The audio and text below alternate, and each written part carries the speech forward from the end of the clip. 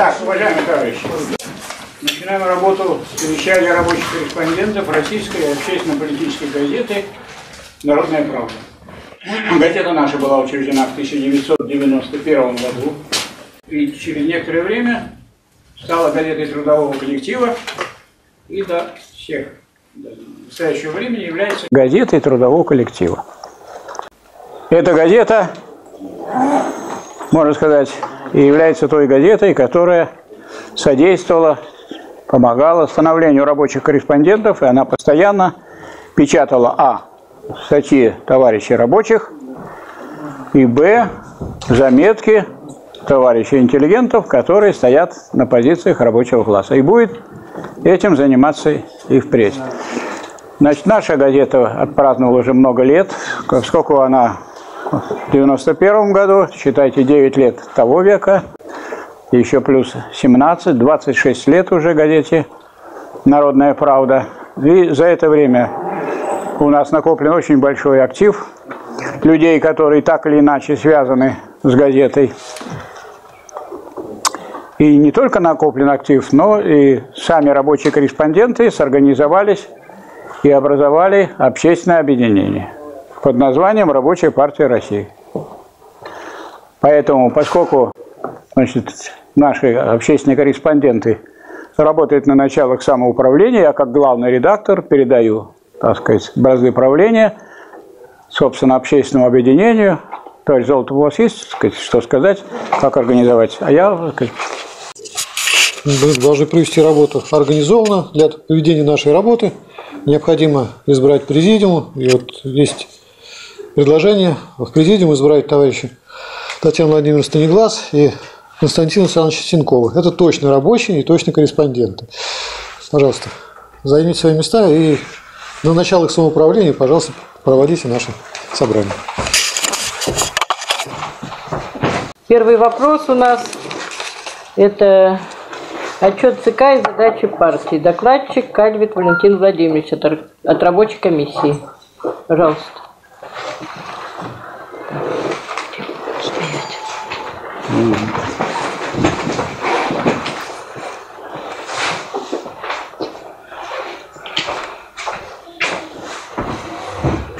Здравствуйте, уважаемые товарищи.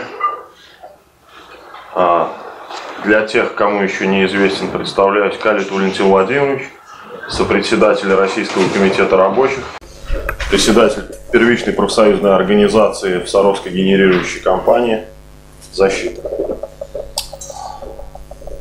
Ну, как было поручено мне доложить о ходе, о работе рабочей комиссии, значит, нашего общественного объединения. А, за отчетный период мы организовали а, два рабочих комитета, а, два российских комитета рабочих, которые, значит, как правило, два раза в год осенью и весной проходит. Это вот состоялся 15-16 октября в Нижнем Новгороде. И а, следующий был вот в нынешнем марте, 18-19 марта. А, значит, а, какие вопросы рассматривались на, остановлюсь подробно на последнем Российском комитете рабочих.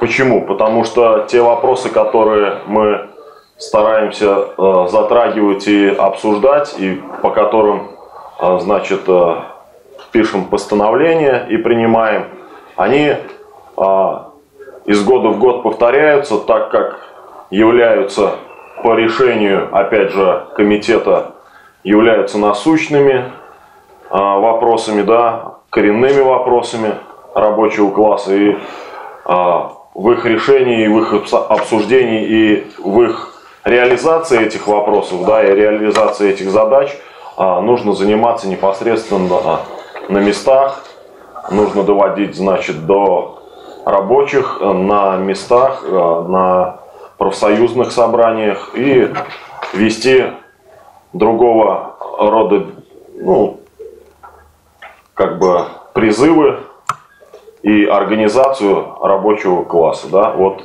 именно Российский комитет рабочим и занимается организацией рабочего класса при содействии фонда рабочей академии, при помощи наших уважаемых консультантов, а, которые помогают выработать лаконичные постановления по тем или иным вопросам. И уже после того, значит, разъезжаются а, делеги, делегированные, значит, работники в свои трудовые коллективы, где и знакомят как бы свои трудовые коллективы, коллективы с теми вопросами, которые обсуждались на Российском комитете рабочих.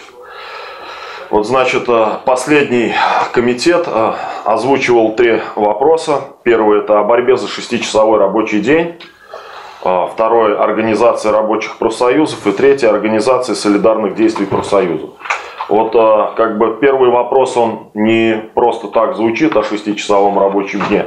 Если немножко откатиться назад, то в Октябрьской, значит, в Октябрьском семинаре этот вопрос звучал чуть-чуть иначе, а как бы влияние продолжительности рабочего дня на здоровье человека, да, и доклад товарища Дегтярева очень был как бы поддержан э, всем, всей массой, которая была, которая присутствовала на комитете, да, и, значит, поняли, что этот вопрос действительно один из самых важных. А этот вопрос не уходит, а идет в связи вместе с вопросом о доведении заработной платы до стоимости рабочей силы. И что помогает нам, значит, эти два коренных вопроса, и они прописаны у нас в программе задачи коллективных действий, да, которые мы следуем и должны выполнять, и должны нести значит, эту программу в свои трудовые коллективы и искать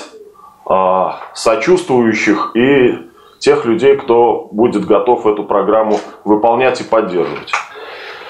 Вот, значит, э, вопрос о шестичасовом рабочем дне. Да? Много, значит, э, расскажу, значит, что произошло у меня конкретно на предприятии, значит, после э, проведения Российского комитета рабочих. Я приехал на предприятие, собрал собрание в котельном цехе, так как он является один из самых основных цехов и доложил, что, ребята, вот прошло сто лет, и в этом году мы празднуем не только сто лет Великой Октябрьской социалистической революции, но и сто лет а, восьмичасовому рабочему дню, который был принят а, у нас на территории тогда еще СССР. Да? И как бы были тоже сделаны доклады, проанализировали, и что действительно это требование является передовым, а, то, что позволит нам, как а, гражданам и патриотам своей страны, действительно свободно развиваться. Для этого действительно есть время, и наши а, значит, научные работы наших старших товарищей это обосновывают, на них можно ссылаться, что действительно за сто лет даже кто-то бы, может бы, и сказал, что не шестичасовой должен быть рабочий день, а гораздо и меньше. То, что э, производительность труда выросла в 50 с лишним раз, э, ну, действительно это так. И почему-то лукаво смотрят на нас руководители, которые говорят, ну, ребят, вы с 8 до 5 или там, допустим, с 8 до 9 или с 10, вы же не полностью загружены своей работой. То есть нас видят как ты в 8 пришел, взял лопату и положил ее только в 17 часов на место, да, то есть работодатель видит эту работу, чтобы ты был как волк, то есть не поднимая головы, должен пахать, ну, мы, рабочие, тоже не хотим быть неграмотными, хотим быть образованными, и для этого нужно время, да, и вот именно в этом мы видим высвобождение для своего образования, для своей организации – чтобы рабочий класс был сплочен, так как мы видим на сегодняшний день, что разобщен рабочий класс, и это из-за того, что флагманы российской промышленности а, как бы раздроблены на мелкие предприятия. На мелком предприятии, как мы все знаем, создать ну, серьезную и сплоченную организацию гораздо тяжелее, чем на крупном предприятии. Ну и как показывает практика, даже те крупные предприятия, которые достигались которых достигался какой-нибудь а, какая-нибудь положительная динамика, да, а, то есть увеличение заработной платы, снижение, опять же, а, может где-то в каких-то местах а, рабочего дня. По, ну, если эта работа затихает и как бы застаивается, то все эти победы, как мы видим, они а, работу организации тормозят, а в некоторых случаях, как показывает практика, организация может распасться и ну, пропасть. Вот. Чтобы, значит, этого не было, для этого и создан этот семинар, а, на который постоянно оргкомитетом приглашаются люди, то есть идет рассылка и в нашей печати в Народной правде, и по всем интернет-ресурсам а, идет рассылка с приглашением, то что а, товарищи рабочие, будьте добры, приезжайте, делитесь своим опытом, значит, получайте тот опыт от товарищей, которые туда привозят. Ну и теоретические знания марксизма-ленинизма, которые, значит, наши уважаемые старшие товарищи передают молодому поколению. А, по себе как бы а, могу сказать, что, что сейчас такая практика и навязывание, значит, нашим правительством идет такое, что вот давайте мы рассмотрим, что было 500 лет, 1000 лет назад, а что было совсем недавно, и как это было сложно, и с каким трудом это все добивалось, как бы э, не хотят об этом говорить и не хотят, наверное, чтобы об этом люди широко знали. Но вот даже сегодня, я имею в виду в сегодняшние дни на Первом канале, значит, все равно эти передачи об столетней истории показывают, что это действительно была борьба за улучшение жизни не только рабочего класса, но и всего прогрессивного человечества. Вот, так что этот вопрос о шестичасовом рабочем дне оргкомитетом сниматься не будет, постоянно будет проговариваться, постоянно будут, значит, а, какие-то реакции на него, то ли со стороны работников, то ли со стороны руководителей. Если это будет обсуждаться в коллективах, соответственно, надо ставить этой задачей, чтобы к этому прийти. Ну и не так. Это, конечно, как я сам вижу, а, этого достичь будет не вот мы взяли там из понедельника все перешли на шестичасовой рабочий день. Борьба будет сложной, не всегда работодатель как бы готов к этому. Но э, нам надо пока в своих умах и в умах своих товарищей понимать, что это именно та цель, которая вот, и как еще раз повторюсь, а, к которой надо идти, и она идет вот именно с тем вопросом о заработной плате, да, потому что вот два таких основных идут в параллель вопроса о содержании заработной платы. Значит, организация рабочих профсоюзов. Организация рабочих профсоюзов э, возникает тоже вопрос, что такое рабочие профсоюзы, да? Рабочий профсоюз это организация, которая работает, это раз. Рабочий профсоюз это организация, в которую входят именно рабочие и которые ведут эту работу именно рабочие, да? Но а, почему так? Потому что а, какими бы знаниями бы не обладали а, наши уважаемые товарищи интеллигенты, но и как бы они бы нам бы их не передавали, нести вот этот груз и работать с коллективом, ну, именно рабочим приходится. И поэтому вот надо на этом, значит, более остро остановиться, что ли. Почему вот мы разбирали, значит, статистику членства нашей партии, нашего объединения. Вот а, если взять 16 год, я не буду брать, значит, 17 год, потому что за 17 год многое что изменилось, и об этом потом скажут. Но по итогам 16 года, значит, партия, состав партии 64 человека, из них всего рабочих 8. Ну, все прекрасно понимают, какая это концентрация и к чему это может привести, что а на словах-то мы будем выглядеть рабочей партией, а на деле-то рабочих-то всего там ничего. Вот это груз, значит, такой работы ложится вот именно на этих ну, как по итогам 2016 года, на этих 8, 8 человек. И я призываю как бы их, да, работать. И работать не в одиночку, а работать сообща. То есть у нас получается мы от съезда к съезду, от РКР к РКР, многие даже ну, встречаемся только на этих э, мероприятиях. Да? А работа должна проводиться как бы постоянно, независимо, будет ли съезд, будет ли э, собран Российский комитет рабочих или нет. То есть работа должна вестись в любом случае. Это что касается организации рабочих профсоюзов. Да?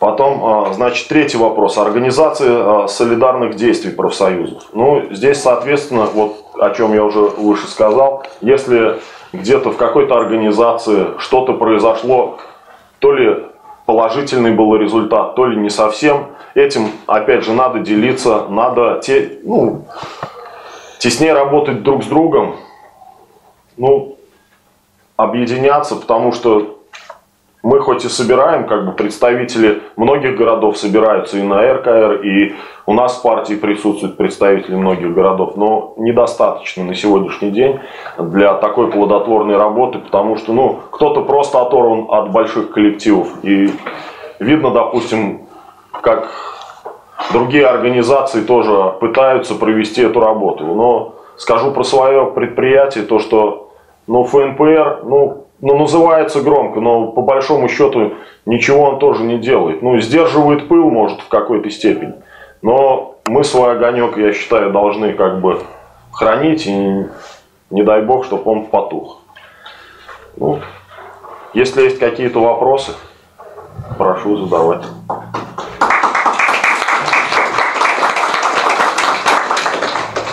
Какие будут вопросы к докладчику?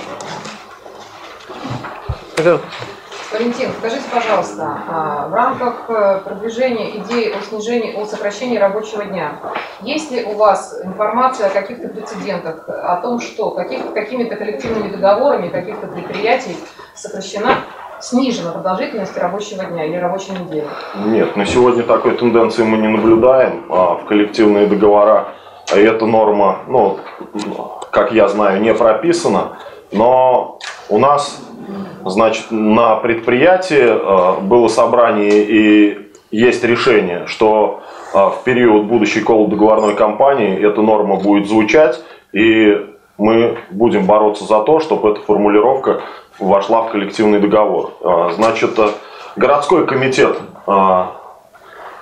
профсоюза защиты тоже как бы не остался равнодушным к этой проблеме, хотя там, значит, руководство оно связано с РКРП, хотя когда эту, значит, этот вопрос озвучили в РКРП, ну, мы особой поддержки с той стороны не видели, да, и поэтому, не надеясь ни на кого, если мы этот лозунг ставим для себя, соответственно, нам и с ним идти и решать эти вопросы уже сами. Как бы, ну от кого ждать еще нам помощи? Можно еще вопрос? Пожалуйста. Скажите, пожалуйста, вот мы эту меру взяли по шестичасовому рабочему дню.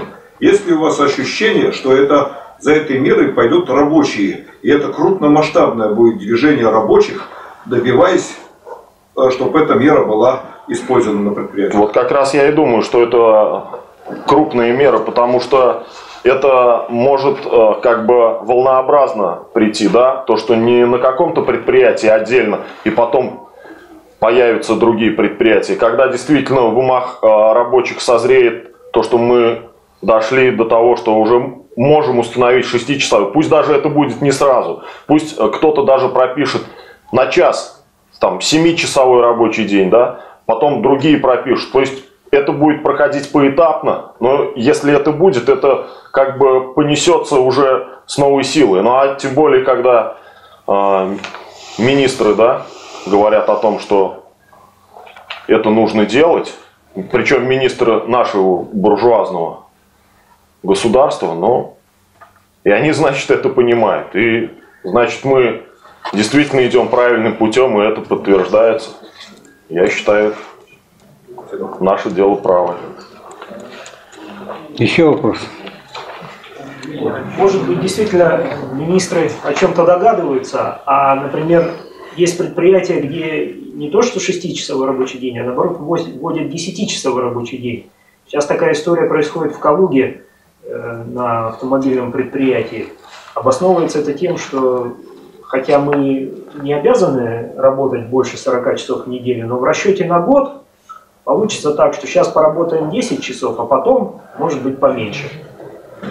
В связи с тем, что сейчас высокий спрос и нужно производить продукцию. Так вот, я хотел спросить, э, вы э, в профсоюзе защита э, публикуете какие-то материалы о том, что задача ведения шестичасового дня ставится в колл-договор и, и какие есть результаты в этом направлении, так, чтобы это можно было товарищам на других предприятиях и профсоюзах показать, что и не, не только партийные организации, но и профсоюзные организации. Я понял, но я как уже выше говорил, что мы только собираемся, значит, на кол договорной на работе заниматься этим вопросом. То, что мы этот вопрос еще не вносили. Но на отчетной конференции я как бы во всеочию генеральному директору, значит, предложил, говорю, вот уже многие годы вы говорите о том, что мы заложники ситуации, ну, финансовой, да, потому что предприятие на самообеспечении. То есть у нас нет ни федеральных, никаких дотаций. То, что заработали, то, значит, и поделили. Вот. Я говорю так, э, нет реальных средств, чтобы увеличить реально содержание заработной платы. Вот чем не выход. Сохраняйте заработную плату на том этапе, котором она сегодня есть, сокращайте рабочие часы. Но это все как бы пока на словах. А почему? Потому что не, я не говорю про руководителей, говорю конкретно про работников. Не у каждого еще это в сознании есть, что это действительно за это нужно бороться. Когда люди это начнут понимать и осознавать, что действительно это требование передовое, что за него действительно нужно бороться, и что оно влечет э, за собой вот, ну, как бы ты будешь и здоровей, и развитей, и ну, что еще тебе нужно, да? А когда, извините меня, часовой рабочий день, ну, 10 часов, 12, а если там люди работают на двух-трех работах, ну, это когда у тебя есть здоровье, а в любой момент здоровье может тебя подвести, и ты уже будешь не работодателю не нужен, ну, никому. И здесь, конечно, вот этот самый большой, наверное, аспект, то, что, извините, работодатель о нашем здоровье думать не, не будет, это точно. А сохранить трудовую силу в первую очередь нужно нам самим, чтобы жить как классу, да, а уже как будет предприятие за счет нас. Ну, будут рабочие, будет и прибыль предприятия. Соответственно, здесь все это взаимосвязано. Если а, руководитель предприятия достаточно грамотный, он будет, ну, не знаю, как будет, по крайней мере, хоть что-то должен сделать для того, чтобы его рабочий процветал. Да? Ну, много примеров, допустим, как Форд работал. Но почему-то современные руководители, они назад как-то оглядываются вот именно на то время, которое сто лет назад было, с какой-то опаской. Ну, тому ряд причин есть, как бы. Но вот я еще раз повторю, что это действительно лозунг наш, и нам идти за этим лозунгом, и будем делать все, чтобы, значит, это требование появлялось в коллективных договорах, ну, уже каким моментом это будет проходить, мы будем освещать, конечно, в Российском комитете рабочих, ну и по переписке с сочувствующими нам гражданами. Пожалуйста, есть еще вопрос, да? Да, есть.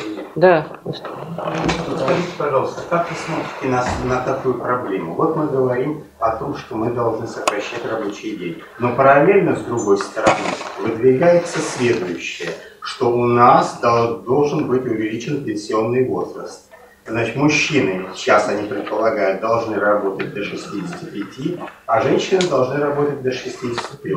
По сути дела, увеличение пенсионного возраста – это и есть увеличение продолжительности рабочего дня, я так понимаю.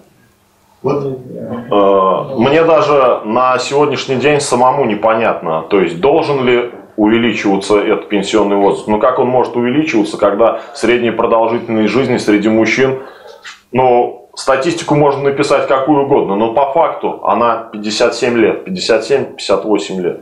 Ну а какие там ши-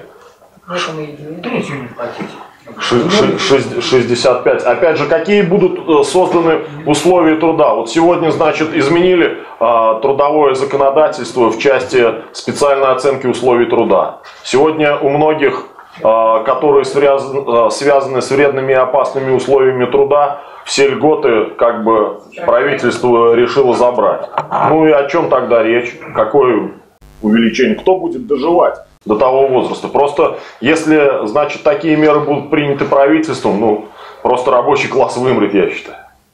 Ну так я считаю, что эту тему тоже нужно будет поднимать. Не, только э, сокращение рабочего дня, но и эту тему надо поднимать. Но вы поймите, то, что если создадутся благоприятные условия для рабочих, то эта тема, она как бы сама собой отпадет. Когда человек себя прекрасно чувствует, мне кажется, он и 80 лет придет и будет работать, если он себя будет прекрасно чувствовать. Но пока факты другие, что средний, средняя продолжительность жизни у мужчин вот такая, какая я сказал. Пока радужных перспектив в этом нет. Но если они наметили, товарищи, буржуи, да? Не, товар, не товарищи, точно, господа. Вот, то они, соответственно, если ставят этой целью себе поднятие пенсионного возраста, мы будем ставить себе целью достижения 6-часового рабочего дня.